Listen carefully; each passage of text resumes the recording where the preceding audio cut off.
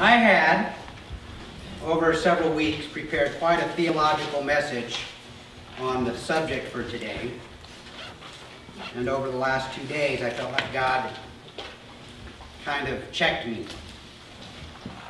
And um, one of the things that I really felt like God was directing me to, if you open up your, your bulletin inside, there is a glossary, and I'm going to give this to you because I'll go grab my own.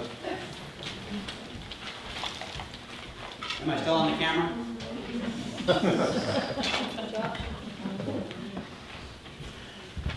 now, um, in your bulletin, there's a thing it's called the Common Man's Guide to Christianese.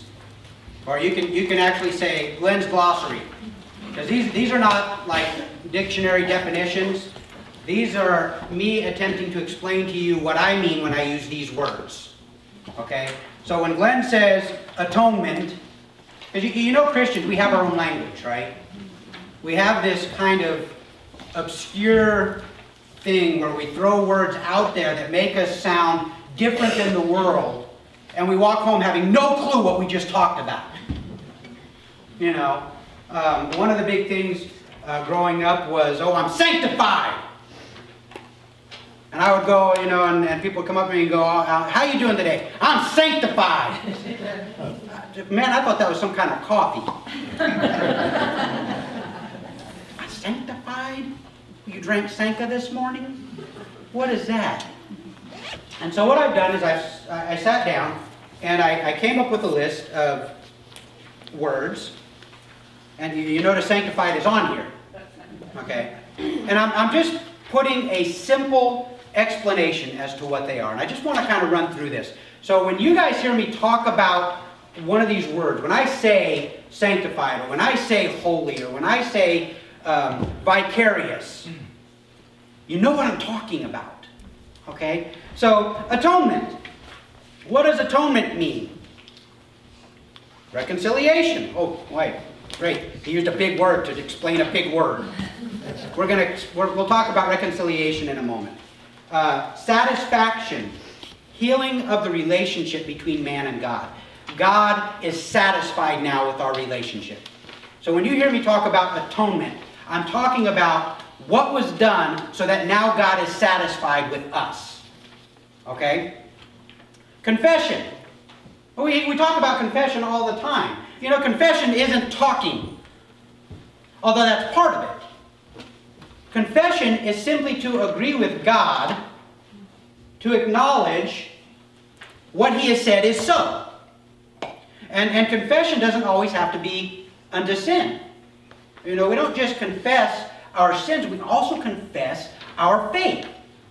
Okay? So when, when you hear, oh, you need to confess, really what you need to do is agree with God that what God says is so is really so. Okay? And if that means that you're stuck in an area and God is telling you, yeah, that's sin, you need to get rid of that, you need to go, you're right. God, this is sin. I need to quit doing that.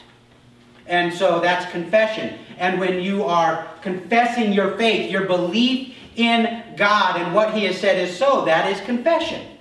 We're just agreeing with God. Okay? Grace we, we talk about grace all the time. What is grace? Okay? Well, great, unmerited favor. Okay? That means you didn't deserve it. Okay, so grace, simply put, is you got something you did not deserve. And we have to understand this. Okay? Because it's on this that salvation rests. Okay? We need to understand and we're, we're going to talk about, we're going to be using a lot of these terms in the message today. That's why I wanted to put these out for you. Okay? When I'm talking about grace, we need to understand we did not do, we could not do anything to deserve this. Okay? That's what makes it grace. That's what makes it so marvelous. Is that it, it wasn't dependent on our ability to do anything. Holy. Well, there's a term we hear in church all the time. Holy. And I don't know about you, but when I hear the term holy, I think robes and censers. You know, the thing they put the incense in and the, and the ball and they. Hmm. That's what I think of when I hear holy. All right? You got your own ideas. I'll laugh at those later. Okay? But what does holy mean? Okay? Simply put, it means separate. It means it is not common. Okay? Um, unique. Without sin or blemish. We'll, we'll talk about sin in a moment as well. Okay? So when we talk about a holy God, okay, we're talking about a God that is completely separate from everything we know. He is completely unique. And he has called us to be holy. He says, Be holy, as my Father in heaven is holy. Hmm. to be without sin? We're going to talk about that today as well. Incarnation. That's one of those Catholic words. Simply put, this is also unique. There's only ever been one incarnation. There will only ever be one incarnation. The God-man. 100% God, 100% man. Do it with me now. fully God and fully man. All right, so you guys are never going to forget that. That's the incarnation. Fully God, fully man. Something unique, something done by the power and authority of God. Okay? Justification. Justification. To prove to be right or just. Well, you're not supposed to use the word in the definition. Forgive me, I'm not Merriam-Webster. Okay? When you are justified, you are proven to be right. Okay? And we're going to see how all of these words play off of each other, all of these ideas and concepts. And I know, Matthew, you spoke last week about how we tend to get caught up in these words. I'm not trying to undo what Matthew said, because Matthew really hit it on the head last week when he spoke, and I thought he did an incredible job. Grace. It's all dependent on grace, and that's really where our focus needs to be. But you're going to hear me using these terms today because we're talking about the nature and condition of man. Okay? So, mercy. Now, mercy is kind of the other side of the coin from grace. Grace is giving you what you did not deserve. Mercy is not giving you what you do deserve. Okay? God in His mercy does not label you with the sin that you deserve to be labeled with, assuming you are under His grace. Okay? So, grace is you got something you didn't deserve. Mercy is you didn't get what you did deserve. They go together. Okay? If you have grace, you have mercy. If you have mercy, you have grace. Propitiation. There's a word. Propitiation. To regain the favor of. Okay? To regain the favor of. Reconciliation. To change or exchange as in the nature or relationship between God and man. Okay, so what we are doing when we talk about reconciliation, we are changing the nature of the relationship between us and God. We are being reconciled to Him. And that goes back to the, the message that we had a couple weeks ago, where we talked about the nature of man, the condition, the problem is that we are an affront to God by our very nature. From Adam on down. And yet, God has made a way for us to be reconciled to Him. Okay? So the nature of our relationship is changed. Redeemed. Oh, yeah, quick on the spot. Go to YouTube. Christy, help him with that. We're gonna we're gonna talk about this in a little bit. It's the um, redeemed. Now I love this term because it really carries the idea of where we are and what we were. Okay, to buy back, to relieve from distress, to free from captivity. What this literally means scripturally when we see re redeemed in the Bible, the, the word that we translate as redeemed was a slave term. Okay? It was a slave term. And it was you went and purchased a slave out of slavery and set them free. Okay? We see this idea conveyed so very clearly in the book of Hosea. Okay? Remember his wife Gomer went off and, and she was owned by a pimp. She was prostituting herself. And God told Hosea, go and buy her out. Restore her. Redeem her. Because this is my image of what I am going to do. Redeem her. So Hosea, who was offended because his wife had an affair on him, not just an affair, she went and prostituted herself. And Hosea went and redeemed her out of that and brought her back home. Okay? This is the nature of relationship that we have with God. We need to understand we're the prostitutes in this relationship. We're the ones that went out and had an adulterous affair with all the crap of this world. And God reached out and He paid the price to redeem us out of that slavery. Okay? So redeemed. Sanctified. Sanctified just means to be made holy. Well, here we go, using the word again. What does holy mean? To be made separate. To be made unique. Okay? So when we're talking about being sanctified, that's when God took us out of the common and put us in the unique. Okay? An example of this, an illustration of this is in the Old Testament. When we see the establishment of the tabernacle. Okay? Remember when they were making the tabernacle? There were instructions as to how to make all the articles that would be used in the tabernacle. The spoons, the knives, all the different things. They were made out of common stuff. Okay, well, maybe not so common, but I mean it was gold and it was silver, and they went through the process that you would go through to make a spoon and a knife. But that wasn't sufficient for them to be used in the holy place of God. So God said there has to be a way to make them holy. And there was a process whereby they went, there was a sacrifice made for them, there was the shedding of blood, the blood was anointed onto them, and they became holy. Now when they became holy, they were dedicated unto God. They were for His purposes alone. Matter of fact, so much so that when the Babylonians overthrew Jerusalem, and they cleaned out the temple and they took all the articles and they took them back to Babylon with them. You guys remember the story? King goes, oh, I know. I'm going to throw a party and I'm going to let, let's pull out the stuff from that temple and we'll use it. We'll use it. And they started singing, oh, praise to the God of gold and silver and wood. And God said, eh. Okay, these are mine.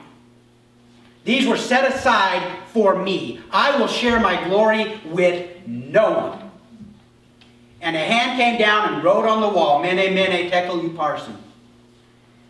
And that very night, the kingdom was stripped from Babylon and was given to the Medes and the Persians. Okay? This is how God feels about us. Okay? He has taken us from the common and He has made us unique and we are to be used for His purposes only. God will not share you with anything. You're His. Sin. Okay, now I put this very simple. A transgression against the law of God. Okay? You, you, you broke the law. You broke what God said should be. Now, look, we need to understand something. Okay? The law isn't something God did on a day when he didn't have a whole lot going on. So he thought, you know, I'm going to sit down and come up with a list of rules and regulations. We're kind of in the in-between season. Fruit looks like it's growing pretty good. Wheat's going okay. Eh, not a lot of wars going on. Got that handled. What should I do today? I know. I'll make the law. The law is an expression of who God is and how very different he is from us. Because see, the law is not something God needs to keep. It is who he is. That's the perfection that he is. So when we talk about the holiness of God, you know, we look at the Ten Commandments, and I, I talked about this a couple weeks ago. The Ten Commandments, we couldn't even keep the Ten Commandments. There were only ten. Well, let's, let's reduce it even further. There was only one in the garden. Don't eat of this tree. Don't eat the banana. You, that's not what you thought I was going to say, huh? we don't know what kind of fruit it was. don't eat that. And what did they do? One command, and they blew it. Okay? The, the sin is when we choose knowingly or unknowingly, to violate God's commands. Okay? To go in opposition to the nature of God. And I say willingly, knowingly, or unknowingly because we, we sin unknowingly. That's part of how far we've fallen away from God. That, that's the scary thing about it, how far we've fallen away from God. I mean, I thank God every day for the sins that He has forgiven me for, the ones that I'm aware of. Boy, I blew that. Thank you, God, that I am forgiven for that. But man, how many things have I done that I'm not even aware offended him? That's the marvelous thing about grace, because those are covered too. Those are covered as well. Vicarious. Here's another big churchy word. Vicarious. This simply means you substituted something for something else. Okay? So when we say Jesus was a vicarious propitiation for our sin, people get up and walk out. Man, I didn't go to church to hear Latin. I thought they got rid of that in the 70s. No, no, no, no. What, what we're saying is because we have to do things, you know, big in church. What we are saying is Jesus was a substitutionary sacrifice, a substitutionary propitiation. Remember what's propitiation? To regain the favor of. Jesus was in our place to regain the favor of God because of our transgressing against the nature of God. It's a lot easier to say he was vicarious propitiation for our sin. Okay. So we have the glossary here. Everybody got the glossary? If, if I use a word in the message, because this isn't the message, this is, this is just like a bonus. Okay? Refer back to this. All right? Open with me to John 3.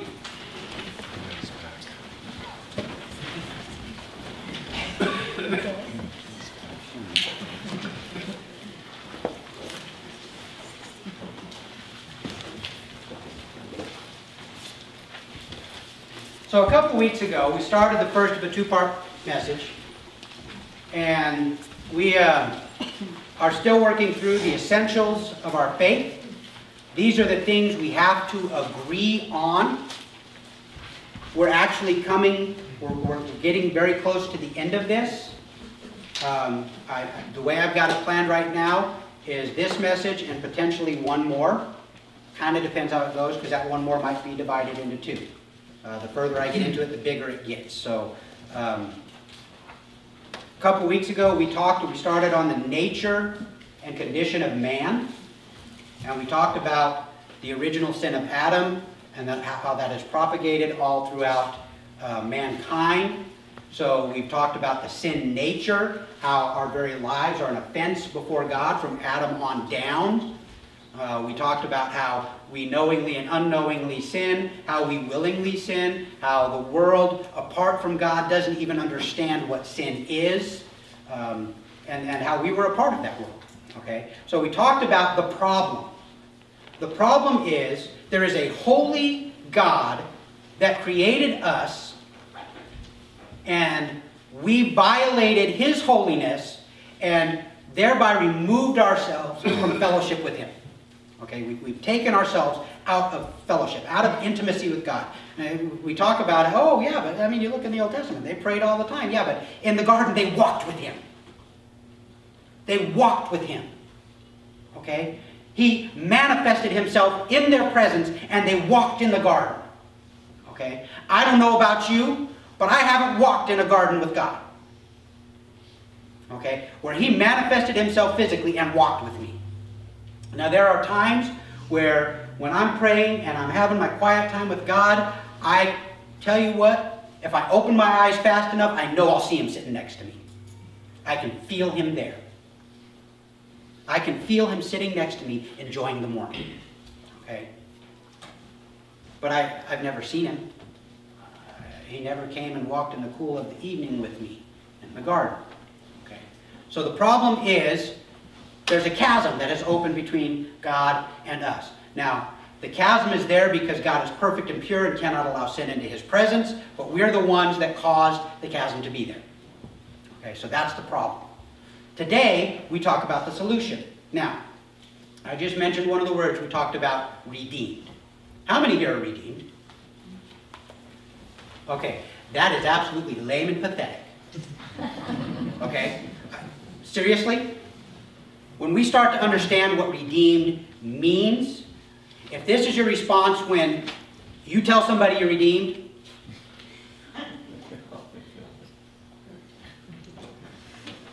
I don't think you are. Because if that's all you can muster for what he's done, you don't understand what he's done. John 3, let's get into it. All right? Um, we're going to start in verse 16, and we're going to come down a little bit. Okay? For God so loved the world that he gave his only Son, that whoever believes in him should not perish, but have eternal life. Okay, we got that. I mean, that's, that's pretty common, right? I mean, does anybody here not have that verse memorized? Memorize it. But don't stop there. Let, let's continue on, okay? For God did not send his Son into the world to condemn the world, but in order that the world might be saved through him. Okay, that's that follows right on the heels. Okay? God's not sending his son in to condemn the world. Jesus didn't come to point his finger down at us and say, "Oh, yeah, you're out. You're out. I'm here to cast judgment on you." That will come.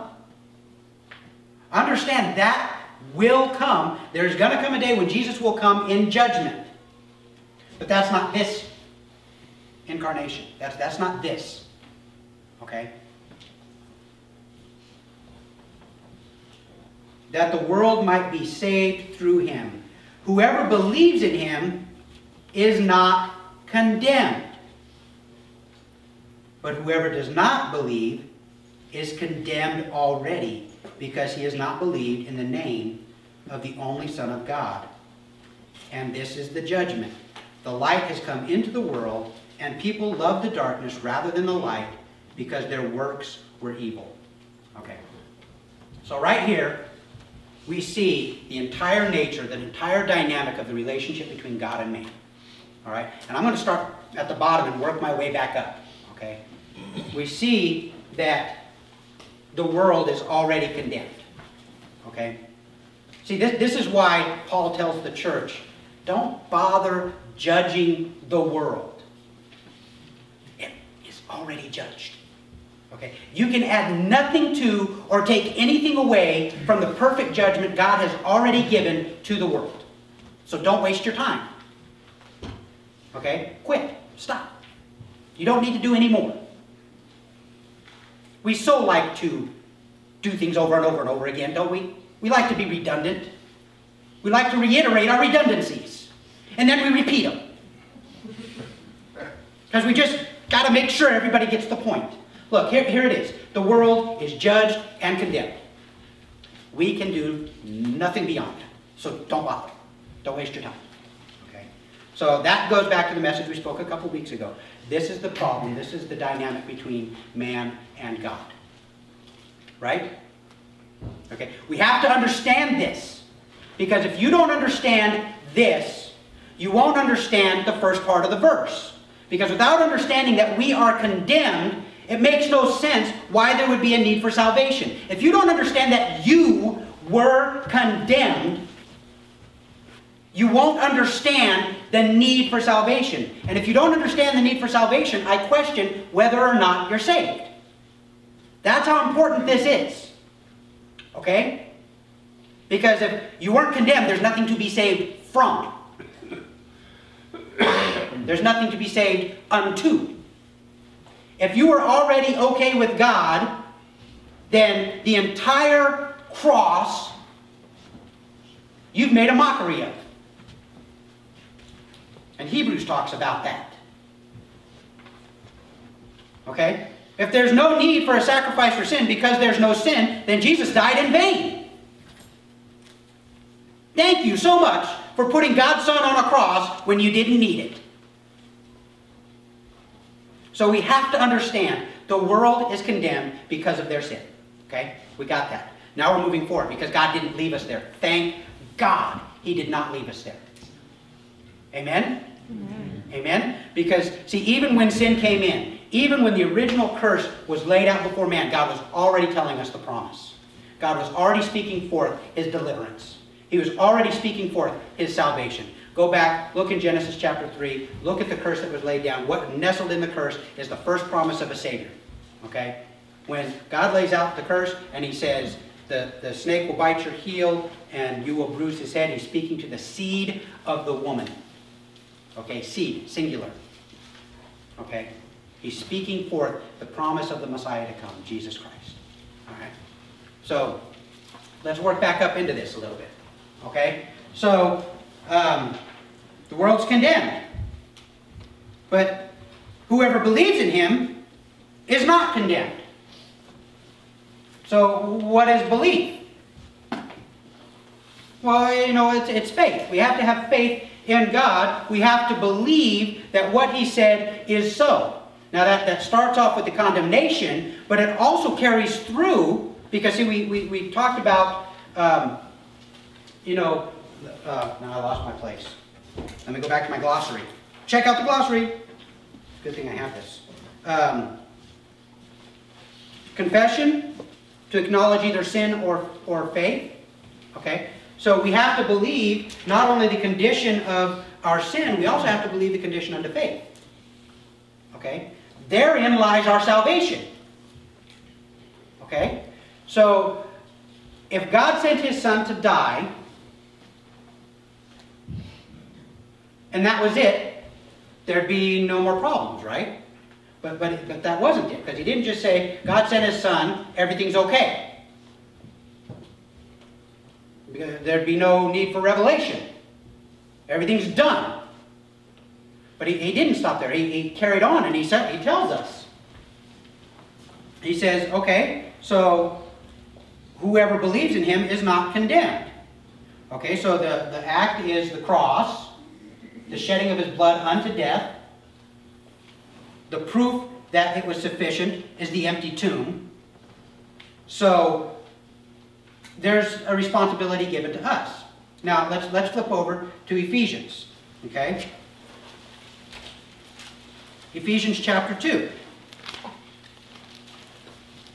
Because I want you to understand this. We have to really have a firm grasp on this. So we're in uh, Ephesians chapter 2. We're going to start in verse 8.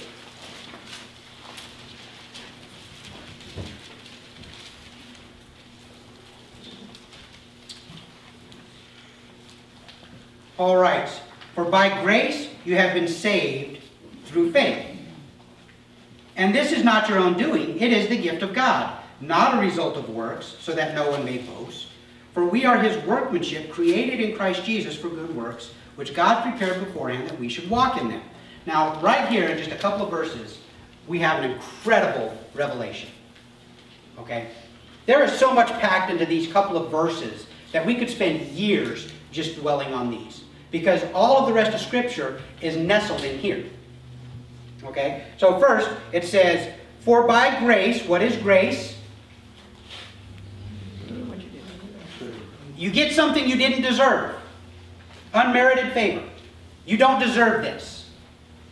You have been saved through faith. Can somebody tell me what faith is?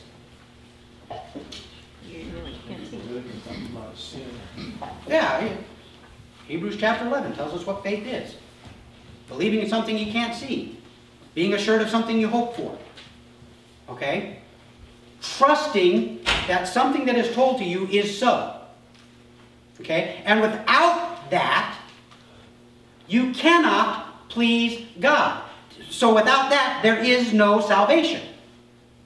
You, you see that? Okay? So, God has given us grace. Now, the cool thing about this is, God also gives us the faith. Because in and of ourselves, how do we believe something that, I mean, dude, we're cynical. I mean, all of mankind could be born in Missouri. Show me. Show me, show me, show me. Show me. Okay? So, you have been saved through faith. And this is not your own doing, it is the gift of God. Okay? See, people, we have to dwell here. Paul clarifies it's nothing that you did, it's nothing you could do, it's nothing you can do. It's God's gift to you. It is nothing earned. If it were earned, it would be this is God's wage. Excuse me. Not as a result of works, so that no one may boast. Look, you can't say, oh yeah, I fed three orphans this week, and God's letting me into heaven. What'd you do? I fed one. I fed a stray dog. Eh, no one has room to boast here. Because it's not anything based on us. Arrogance, pride goes right out the window. I'll tell you what. When you start getting cocky about your faith, oh, I haven't sinned in 16.2 seconds. Guess what? You just blew it. And when you start looking askance at other people, oh, that brother over there, I saw what he did. Look, it's not based on you. Your salvation is not based on you, it's based on him. Just as his is not based on him. Sorry, I'm using you as an example. All right. it's based on God. Okay? So what, where would I have any room for pride in this? And my ability to do or accomplish anything? There is no room for pride. As, in fact, all that that should do for us is make us humble. It should make us go, God, we are but unworthy servants. Unworthy servants do with us as you will. Because see, if you don't have that attitude, then you start to take offense at things. Then you start to judge God for what he allows to come into your life. okay, God, when I signed up for this, you said everything was going to be good. Ah, uh, what happened with the bills? There's a shortfall here. God, well, look at what my wife is doing. Get her. Get her. What, what, what, why did you give me these kids? Don't you see the Joneses kids? Why couldn't I have their kids? Because if you'd had their kids, they would have been your kids and you'd have been in the same boat.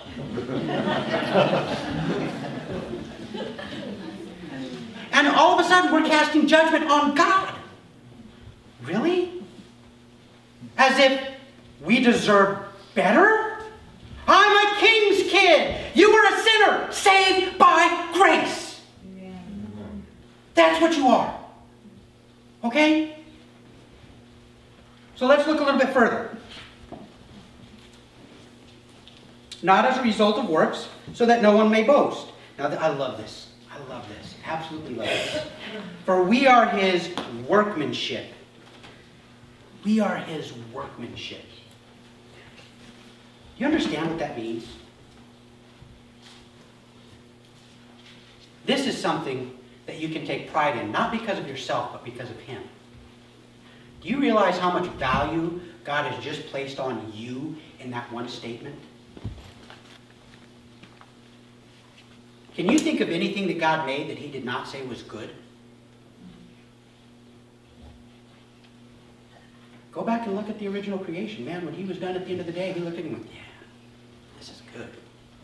Matter of fact, when he wrapped up all of creation and man was created and put on the earth, he didn't just go, he's good. He, he said, this is very good.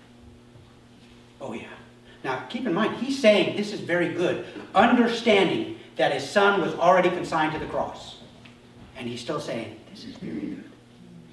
Okay, so when he says to you, you are my workmanship. Wow, you know how much your value just skyrocketed in the entire universe and in eternity? Because the creator of all of it has made you. The master craftsman has made you, and he has ascribed to you value. We are his workmanship. Priceless.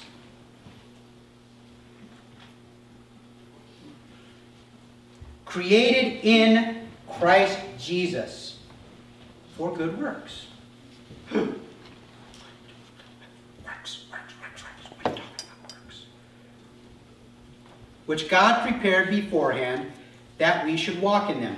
Now, we've talked about this before. I'm just going to touch on it briefly. You notice the order here that Paul lays out? Grace first. Grace is extended to all man. The entire world has been extended grace. Then faith. Faith. Okay? That's our part to believe in the grace. Okay? And that, those two together, grace plus faith equals, come on, say it out, be bold. Say it loud because it's worth saying loud. Salvation. Salvation. Grace plus faith equals Salvation. Oh, you guys are lame. All right. Grace given by God, faith also given by God, but directed through us, equals salvation. Salvation. Thank you. Okay? So there is salvation. Then, okay, we're the workmanship. Wh- why, how, why are we the workmanship? Because we are a new creation. We're new. We're new. Boy, if that doesn't get you excited, you don't understand how yucky you were before. Because if you think you were okay before, you don't understand what he's made you into now. A new creation.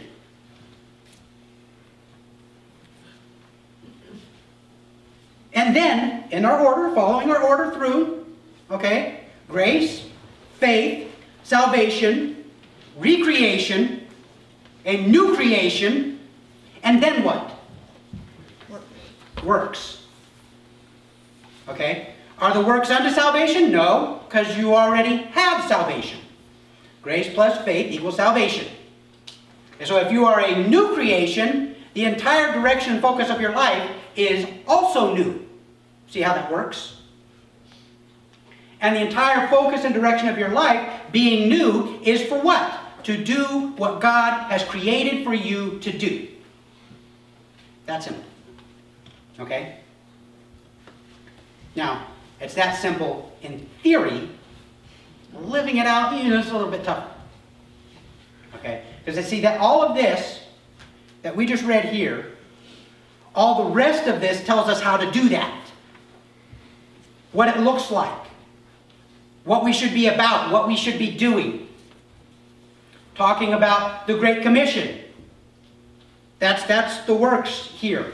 We go out and we speak forth the things that God has done for us. We tell them the good news. All too often, we start off because the good news, in order for it to be good, there has to be bad news. The bad news is they're lost. And why do we so often get stuck on that? Oh, yeah, you're a sinner, going to hell, bye. Enjoy your coffee. That's just what, what the condition already is. We need to be presenting to them the good news. Okay? That's the works. But, but the works don't end just there. The, the, the works start in the home. Here, I'm hitting you below the belt. Right here, right now. Okay? Because if you are Christ to the sinner on the street, but you are not Christ to to your husband, your wife, or your children, you're blowing it.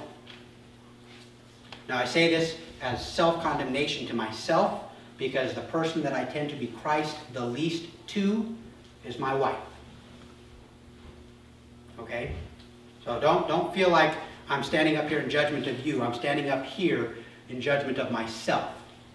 Because the one that I blow it with the most often and to the umpteenth degree is Christy. And so the good works that he has prepared for me to do, I'm still learning it, I'm still working through it, I'm still applying it, um, getting better. Sometimes. Right, somebody say ask Christy. Getting better. Getting better, not perfect. Remember what we say? Not perfectly, increasingly. Okay? So the good works. Okay, now we're going to jump ahead. Once more. We're going to jump up to uh, 2 Corinthians. Chapter 5.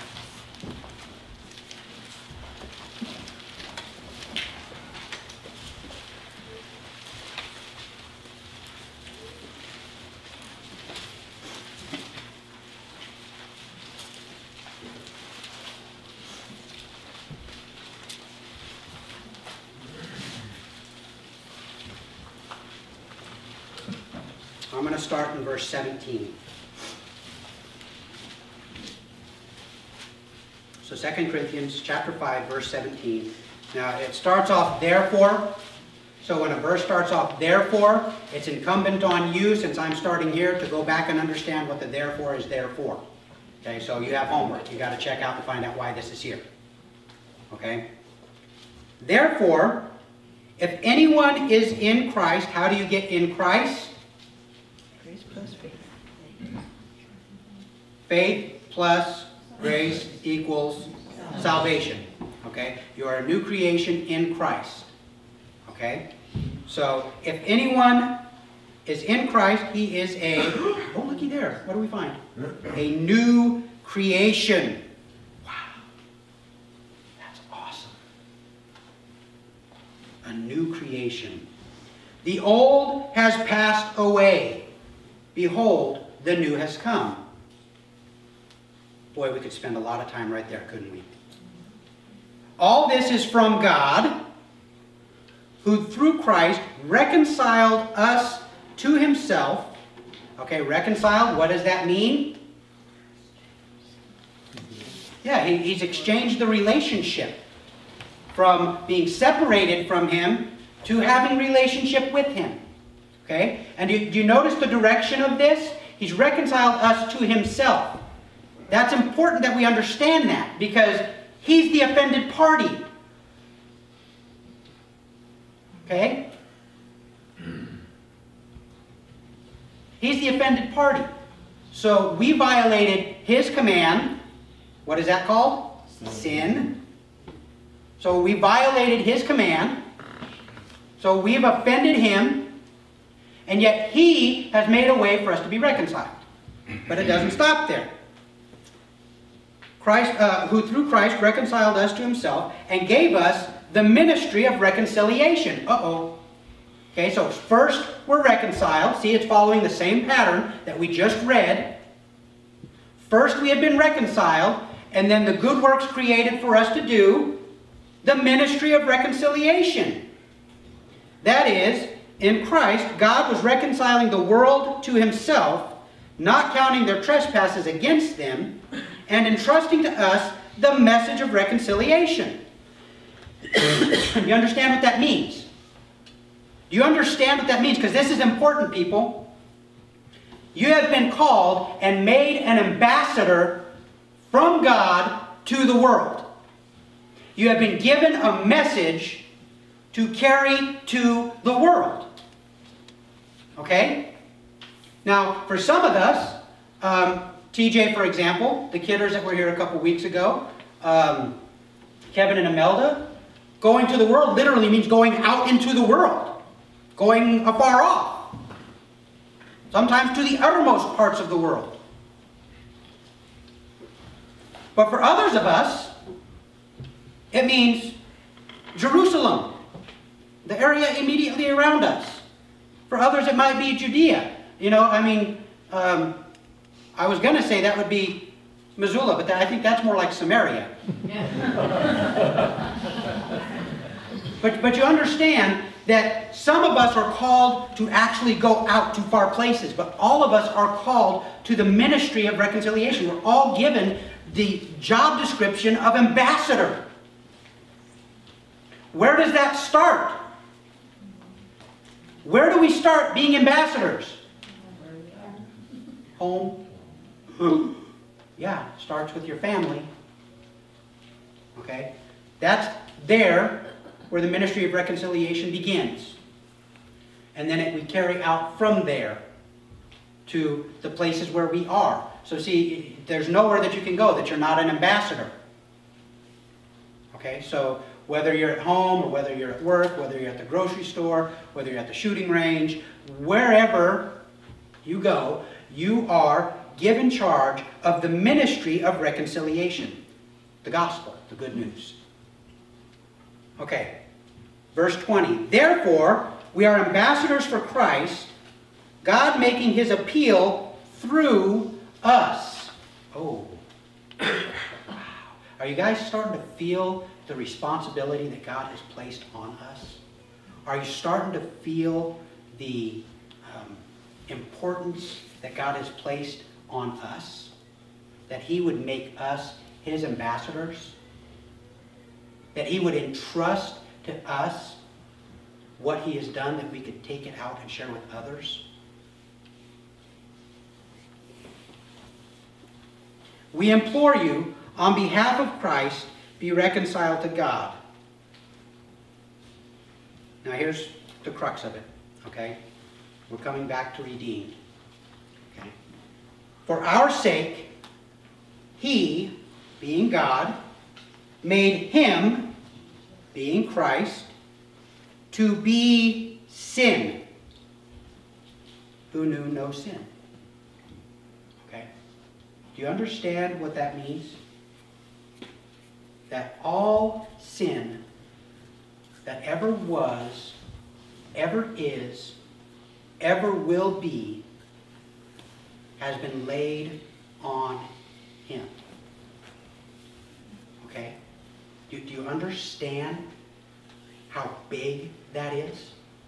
So you have to understand that because you have to understand why it is such an offense to God for people to not believe. Because God has paid the price for their sin through the shed blood of his son. He made him sin. And when people hear that and reject it and choose not to believe it, they are telling God, I don't want what you have done. I don't want what you have given. I choose to go my own way. See, that is the unforgivable sin. That is the unforgivable sin. There is no sacrifice that can cover that because the sacrifice for all sin has been made. But see, it doesn't end there. See, that's dealing with the problem. But then it comes on to something else. And this is something that I want to encourage you in because this is where I was stuck for a lot of years and sometimes still struggle. Okay? For our sake, he made him to be sin who knew no sin, so that in him, in Christ, we might become the righteousness of God. Okay. We have got to grasp this. Because, see, one of the things that the enemy does, one of the lies that the enemy tells you, that he has told me for years, is that God loved me enough to go to the cross for me. But that somehow or another, when I came to the point of salvation, I could do nothing to earn that salvation, but I had to do something to maintain it. Okay? Somehow or another, through my own ability, I had to maintain the perfection that was given me at the cross. Okay? And that way leads to condemnation. Because you can't ever do it. You can do nothing unto it. You can do nothing to maintain it. It is the free gift of God. Now, what, what we understand here, what this is telling us, is you are the righteousness of God in Christ. Can God sin? Can God's righteousness ever be blemished? No. Do you understand what that means? Listen, in Hebrews, it tells us, they're talking about how the priest had to come every year, and year after year after year, they had to offer the same sacrifice. Why? Because it was not sufficient. But Jesus, being the perfect sacrifice, once and for all, paid the price. Once and for all. Jesus does not need to go back to the cross. There is no sacrifice left for sin. It's done. It's accomplished. No more is needed. Okay? So, if that's the case, and I am the righteousness of God in Christ, sin has no hold on me. None. Do you understand that? If you are the righteousness of God in Christ, sin has no hold on you. See, that's what it means to be redeemed. That you are taken out of sin. The price was paid when Jesus was on the cross and he said, It is finished. He didn't mean tune in next week. He meant it is done. The price is paid, the debt is paid in full. Nothing is owing. Nothing. So when we come to the cross, when we come to Christ, when we come to salvation, it is accomplished. Do we still sin? Yeah, we blow it. We blow it. We, we make mistakes. Sometimes willingly, sometimes stupidly, sometimes unknowingly. We still blow it. But it is covered. Where sin abounds, grace does much more abound. Now, keep in mind, because there are some really wacky people out there that take that as an opportunity. Hey, all right, let's go sin. No. How can you be the righteousness of God in Christ and embrace sin? You can't. That doesn't work. Paul even goes so far as to say, absolutely not. There's no term that you can use in the Greek language that is more emphatic than the term Paul used. That's like, he's not going, yeah, that's not a good idea. He's going, no! Okay? Don't, don't do that. Don't use that as an opportunity to sin. Don't use that freedom as an opportunity to sin. So if I am the righteousness of God in Christ, and sin no longer has a hold on me, that makes all the more sense when Paul says in Romans, There is therefore now no condemnation for those who are in Christ Jesus. Right? There is no condemnation. So when you're struggling and you're starting to feel down about yourself, and you're starting to go, oh, I blew it, oh. And, the, and that lie comes in and starts tearing you down. Listen to me. The Spirit of God convicts of unrighteousness, right? Why does it convict of unrighteousness? To tear you down? No, to tear the sin away. Okay? So you know that there is something you're not supposed to be doing. But it's always to edify, it's always to build up so that we can continue to grow and mature in Christ. The Spirit comes in and convicts you. And yeah, you may feel remorse. I know I'm the only one that's ever done this, but God reveals a sin to me that I didn't realize was a sin, and I went, oh my gosh. I know none of you guys do that because you don't have unknown sin. Okay? But when God reveals that to me, there is remorse because I've offended God. There's another area in my life that I've realized, oh my gosh. But immediately on the heels of that comes what? Forgiveness. Forgiveness. All right, okay, moving forward. Now, condemnation, what does condemnation do? It keeps you trapped there. I'm never going to get over this. I'm never going to get beyond this. I'm stuck. That's from the enemy. That's a lie. Okay? That's deceit. Because that's not in his word. His word is we are the righteousness of God. So we're not stuck there. We're free to move forward. Amen? All right. Wow, this went quick. I have, I have homework for you. Okay? Off of what we talked about today, I want you to go back this week and I want you to spend time in Isaiah 53. Okay? Because looking at what we just talked about, what was accomplished, I want you to go back and look at what it cost God. His plan put in place, put into play, put into effect through the birth, life, death, and resurrection of Jesus Christ. Mm. Okay? So look up Isaiah 53. Spend some time there.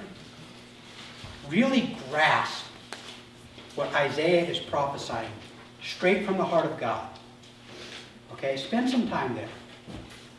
Learn what redeemed is. So that when I ask, who in here is redeemed? It's not this. That's right. Okay? Who in here is redeemed? All right, all right. All right, one more try. Who in here is redeemed? Yeah. Amen. Thank you. Thank you. Okay? Because see, if you're not excited about that, there is no way in the world you're going to be able to carry it outside these doors. Okay? All right, let's pray. Father, we bless you today. God, I thank you for your redemption. Father, that when I was in the pit,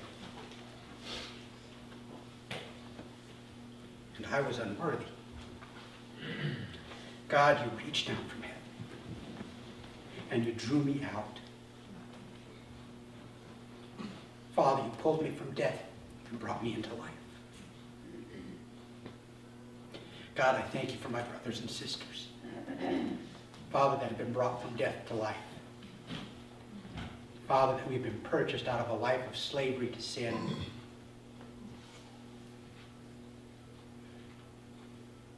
Father, your word says, whom the Son has set free is free indeed. I thank you for that freedom, God. I ask, Lord God, there are those here today, like me, that struggle, Father, with being the righteousness of God in Christ, that, Father, you would teach them as you're teaching me that means. That, God, that in you there is no condemnation. That we are your workmanship, prized and dearly loved. I ask, Lord God, that you would illuminate this in our lives. Help us to be aware, Father. Help us to be sharp. Help us to be bold, to be faithful. We bless you. We thank you in Jesus' name. Amen. Amen.